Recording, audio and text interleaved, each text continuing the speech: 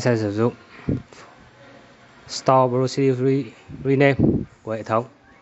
Chúng ta thay vào chúng ta không không có schema thì chúng ta chỉ cần uh, tên bảng và tên cột tên bảng là khách hàng chấm tên cột dấu uh, ngoặc dấu một nháy sau đấy đấy là tên mới của cột chúng ta sẽ viết hoa đúng thứ tự lạc đà camel xq thành công cùng reset lại.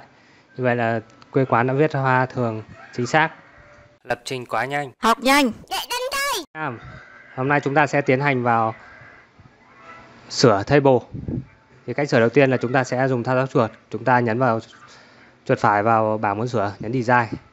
Sau đấy thì chúng ta sẽ gõ tên cột muốn thêm và kiểu dữ liệu data type của cột null hoặc không null tùy thích. Sau đấy chúng ta sẽ xếp bảng khách hàng. Như vậy là chúng ta đã xếp được. Chúng ta cùng refresh lại chúng ta đã có thêm cột chứng minh thư rồi. Một cách khác nữa để thêm ờ, cột vào bảng, đấy là chúng ta sẽ sử dụng câu query. Thì cấu trúc câu query sẽ như thế này. Enter table name add column data type. Chúng ta thay tên của bảng bằng khách hàng. Tên cột. Ví dụ như chúng ta muốn thêm ờ, cột ờ,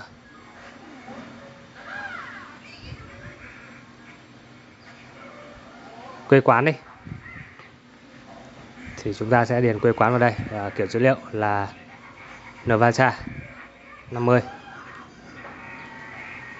chúng ta sẽ nhấn XQ vậy là XQ complete, chúng ta cùng refresh. Chúng ta đã có thêm cột quê quán ở đây rồi.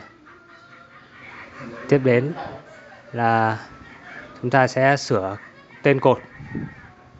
Chúng ta sẽ bôi đen vào và sửa tên cột. Sau đấy nhấn Ctrl S à, xin lỗi các bạn vì chúng ta đã thêm mới một cột bằng câu query nên chúng ta cần loát lại cửa sổ design này. Nếu không chúng ta sẽ mất đi cột quê quán. Đây, chúng ta sẽ bỏ rename column name sau đấy Ctrl S. Như vậy là tên cột đã thay đổi chứng minh thư đã viết hoa. Toàn bộ tiếp đến là cách đổi tên ở câu query. Thì chúng ta sẽ làm như sau chúng ta sẽ sử dụng Store Procedure Rename của hệ thống. Chúng ta thay vào chúng ta không không có schema thì chúng ta chỉ cần uh, tên bảng và tên cột. Tên bảng là khách hàng chấm tên cột. Dấu uh, à, ngoặc dấu một nháy sau đấy đấy là tên mới của cột. Chúng ta sẽ viết hoa đúng thứ tự lạc đà camel xq thành công cùng refresh lại. Như vậy là quê quán đã viết hoa thường chính xác tiếp đến là chúng ta sẽ drop column. Này, chúng ta sẽ bỏ design đi và mở lại design mới. Cửa sổ design mới. Chúng ta nhấn bôi đen vào cột muốn xóa delete column. Ctrl S refresh lại. Như vậy là cột chứng minh thư đã bị xóa. Tiếp đến là cột quê quán, chúng ta sẽ sử dụng câu query để xóa và cấu trúc để xóa như sau. Enter table, từ khóa drop column và tên cột. Tên cột chúng ta là cột quê quán.